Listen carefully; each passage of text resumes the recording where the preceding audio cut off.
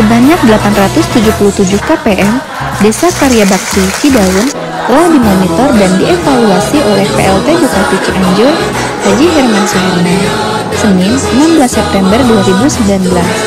Dalam kesempatan itu, turut hadir Kadis Sosial Kabupaten Cianjur, Ahmad Mutawali, Kabak Humas dan Keprotokolan Gagan Rusganda, unsur Mustika Cidaun, serta yang lainnya.